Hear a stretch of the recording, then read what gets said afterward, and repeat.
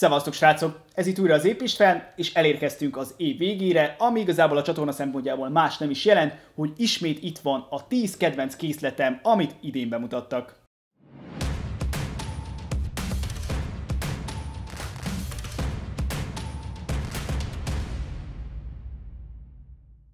Hogyha az előző videót még nem láttátok, akkor tudjátok, hogy fönt a sarokban meg tudjátok nézni. Tavaly elkezdtem egy ilyen hagyományt, és idén ezt szándékozom folytatni. Ismét megnézem, hogy mi volt a számomra kedvenc 10 készlet, amit bemutattak, és itt ezt nagyon fontos kihangsúlyozni, hogy ez teljesen az én szubjektív véleményem, és még a tetejére van egy olyan másik kitétel is, hogy csak is azokról a készletekről lehet szó, ami a 2020-as évben jelentek meg, és így harmadik nap még azt is hozzátettem, hogy olyan készletekről van szó, amit nem ilyen különleges kiadások vagy számotokra elérhetetlen készletek, mert szeretném, hogy a ti is összeraknátok az ilyen tízes listátokat, úgyhogy kommentben mindenki írja le, hogy nektek mi volt a kedvenc készletetek, csak azt ne felejtjétek, hogy csak olyan készlet lehet benne, ami idén jelent meg. Úgyhogy kezdjük is el.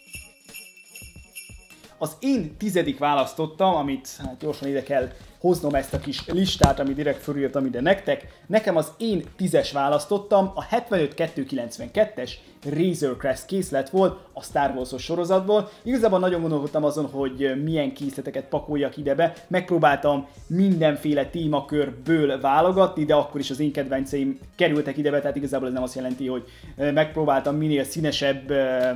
csoportokat összehozni, hanem igazából tényleg amik tetszettek, és hát a tizedik ebben a témakörben számomra a Razor Crest. Nagyon jó kis újítás volt a Star Wars-os témakörben, igazából az egész Mandalorian sorozat egy tök jó e, újítás a Star Wars-os témakörben, és ezáltal, hogy kiadták a Razor Crestet, nekem az egyik kedvencem volt a Star, Wars, Star Wars-os készletek közül, úgyhogy nem hiába is került fel a listára, de ebben az esetben csak az utolsó helyre kerül, de igazából ez nem is az utolsó hely, hanem a tizedik legjobb készlet, amit idén kiadtak, legalábbis számomra.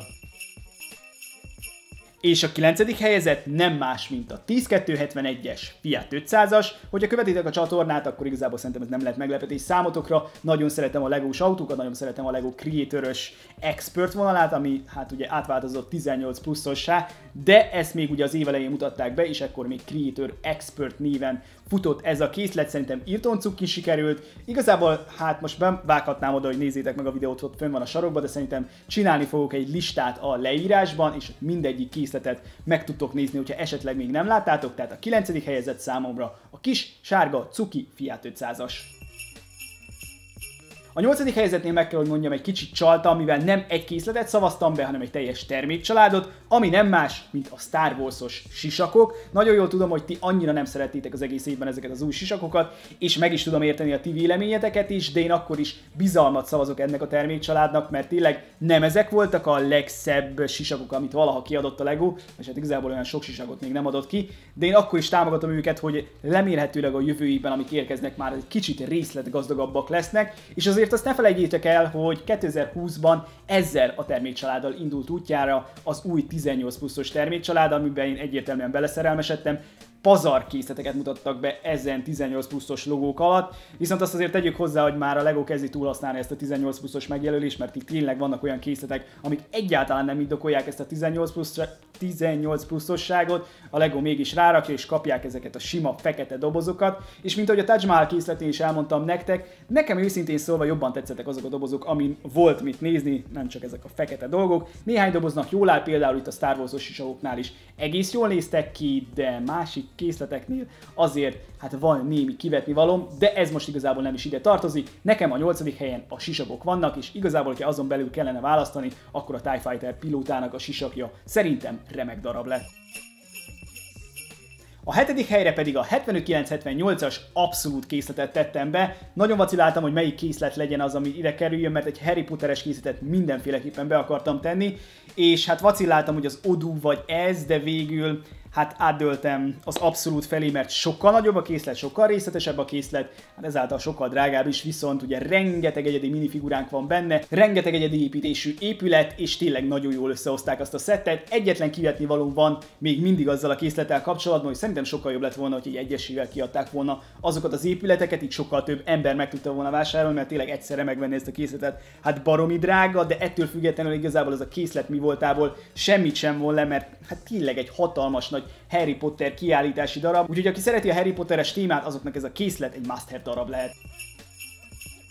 A következő a hatodik helyezett, ami nem más, mint a 71374-es Nintendo Entertainment System, vagyis NES, amit a LEGO csak így meglepetésszerűen kidobott. Ugye idén vezette be a LEGO ezt az új e, Super Mario-s termékcsaládját, amit én abszolút nem szerettem. Nagyon látszik, hogy csak gyerekek számára tervezték, és aztán egyszer csak meglepett minket a LEGO egy olyan évközepe tájékán, se szó, se beszéd, egyszer csak itt volt ez az NES System, ami visszahozta az én gyerekkoromat, én pontosan ilyen, nem pontosan ilyen, de hasonló videójátékokkal játszottam annak idején, és hát tényleg az összeépítési élmény is baromi jó volt, és még a tetére tényleg azt az élményt vissza is hozta, hogy hát milyen volt annak idején azokkal a sárgak az is videójátékokkal játszani, úgyhogy számomra ezért is került ide a hatodik helyre, mert ez a készlet egyszerűen csodálatos. És azért azt se felejtjétek el, hogy nem csak a videójáték van ám, hanem az a tévé, amit külön lehet forgatni benne, Super Mario fut. Hát egyszerűen beleszerettem abba a készletbe.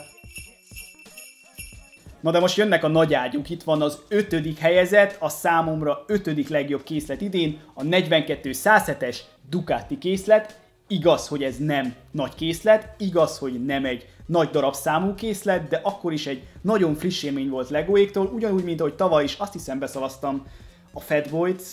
a Harley Davidson, mert tényleg ott is Annyira nem vagyok benne a motoros témákban, de ott is azt nagyon szerettem, viszont idén jött ez a Superbike, ami az én szívemhez, vagy az én szívemhez azért egészen közel áll, és tényleg technik megoldásokkal csinálták meg, beleszerettem abba a készletbe, remek megoldások, remek váltótechnika, mert azt hiszem még egy kétsebességes váltót is bele zsúfoltak abba a kis testbe, és tényleg még megoldották azt, hogy normálisan működjön is, és még a tetejére kiállítási darabként is remekül muzsikál, néhány új alkatrészt is bemutattak annál, annál a készletnél, de akkor is maga az a tény, hogy kaptunk egy ilyen Superbike-ot, ami végre licenszelt volt, mert már nagyon rég kaptunk olyan technikkészletet, mármint ami motor volt és licenszelt, nem csak egy ilyen random motor alakú akármit, hanem tényleg kaptunk egy ilyen vörös Ducatit, szerintem számomra idén a technikkészletek közül az egyik nyerő volt ez.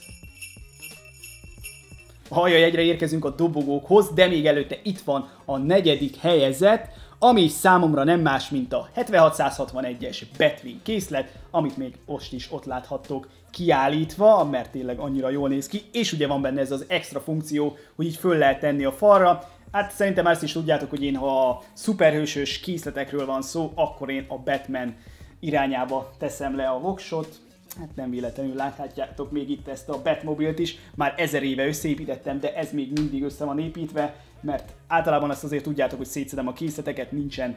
helyem ezeket eltárolni, de akkor is a Batmobile-nak és a Batmannek mindenféleképpen egybe kell, hogy maradjon, mert tényleg eléggé szeretem ezt a témakört. Úgyhogy számomra a negyedik helyzet egyértelműen az a Batwing volt. Nagyon jó megoldásokat alkalmazott itt a LEGO, bár nem ez volt a legizgalmasabb építési rendszer, amit idén össze kellett építenem, de ettől függetlenül kiállítási szempontból remek lett, és azért kaptunk hozzá három hát nem egyedi figurát, mert egy-kettő volt közte egyedi, azt hiszem csak kettő. Azt hiszem csak kettő egyedi figura volt benne, de ettől függetlenül hármat is kaptunk hozzá, és igazából én azokkal eléggé meg vagyok elégedve. A harmadik, azaz bronzérmet számomra idén a 21 322-es Barracuda öböl kalózai készlet nyeri. Hát Kell ezt még magyarázni? Visszahozták a 90-es évek készletét, még a doboz dizájnját is úgy alkották meg, mint hogyha a 90-es évekből repült volna ide hozzánk, csak megkaptuk ebben a hatalmas méretben. Ugye azt hiszem a 90-es években is volt egy Barracuda nevezetű hajó, és azt upgrade fel egy nagyobb verziója, és azért ennek a készletnek még ott van az a funkciója is, hogy hát nem csak egy hajót lehet összeépíteni belőle, hanem egy teljesen lerobbant kincses szigetet is, egy ilyen roncs részletet is össze lehet belőle hozni, úgyhogy igazából ez egy two van készlet, ami egyértelműen a régi időket hozza vissza, és még a tetejére a 90-es évek gyermeki ényét is visszahozza számomra, úgyhogy, úgyhogy idén számomra az IDS készletek közül ez volt a nyerő, de azért voltak más készletek is, úgyhogy csak a harmadik helyre, csak a harmadik helyre került sikerült számomra ez a hatalmas csodás hajó. Na de mi lehet a második helyezett? Kíváncsiak vagytok már mi, ha? Húzza még az időt? A második helyezett számomra a 42-115-ös Technik Lamborghini Sian, ami azért is volt számomra egy hatalmas élmény, mivel nekem ez volt az első ilyen szuperkár, amit összeépítettem, és hát lenyűgözött. A megoldások, amit alkalmaz a Lego egyszerűen pazar volt. A színezete nekem nagyon tetszett, mert nagyon izgultam, hogy nehogy azt a kaka-barna színt kapja meg, amivel bemutatták az autót, hanem megkaptuk ebben a szép lám-zöld színbe, ami nálam egyértelműen nyerő volt. Tele vagyunk funkciókkal, működő motor, működő váltórendszer, mert ugye azt is elég nehezen és bonyolultan össze lehetett építeni belőle, és hát kiállítási darabként az a készlet remekül működik, ha kiteszitek az asztalra, kiteszitek a polcra, egyből mindenki meg fogja kérdezni, hogy az mi, mert tényleg világít azzal a neonzöld színével. Úgyhogy számomra a technik készletek közül idén a második helyezetre ez a Lamborghini Sian került. És most kérdezhetitek, hogy na vajon mi lehet az első helyezet? Én arra vagyok kíváncsi, hogy vajon nektek mi lehet az első helyezet, úgyhogy tényleg ne felejtsétek el kommentben leírni a ti tízes listátokat, vagy hogyha lusták vagytok leírni a tízes listát, akkor legalább jó párat írjatok le ti is, mert hát tényleg kíváncsi vagyok a véleményetekre, de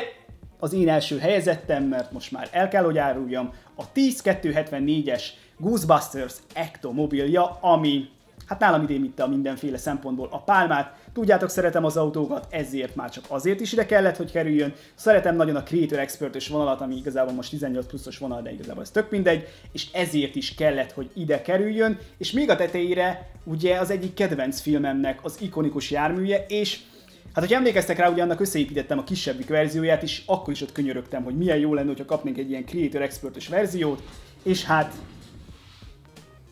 kaptunk. Ott van nagy Creator expert verzió, úgyhogy még egyszer nagy köszönet a Legónak, hogy Hát először is azért, hogy létrehozták ezt a készletet, a második dolog meg azért, hogy telerakták olyan játékfunkciókkal, amik azért egész jól működnek benne, attól függetlenül, hogy tudom, hogy ez az új filmből való, amit még annyira nem tudunk pontosan, hogy hogyan is működnek, mivel hát nem jött még ki az új film. Ettől függetlenül még azt is megoldották, hogy ugye van hozzá egy matrica ív, amit tudjátok nagyon jól, én általában utálok, Viszont itt ez egy nagyon-nagyon jó döntés volt Legóiktól, hogy ezt a matrica évet nem printelés formájában hozták össze, mert így meg lehetett alkotni tényleg a régebbi verzióját az Ecto 1-esnek, mármint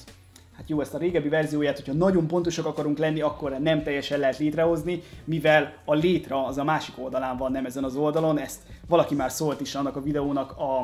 Ezt én írtam le? Vagy én írtam le, vagy valaki szólt a komment szekcióba, már nem emlékszek rá, viszont ugye a Lego adott itt ilyen kis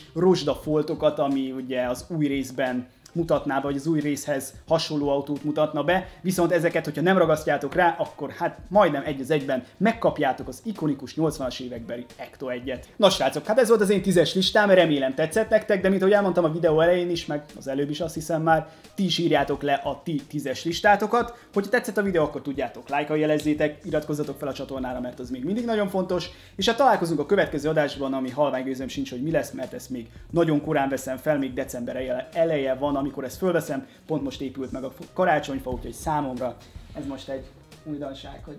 itt a karácsonyfa, szeretem a karácsonyfát, úgyhogy én most egy kicsit nézegetem a karácsonyfát, találkozunk a következő adásban, addig is jók legyetek, szevasztok! Mi volt ez a végén, baszki?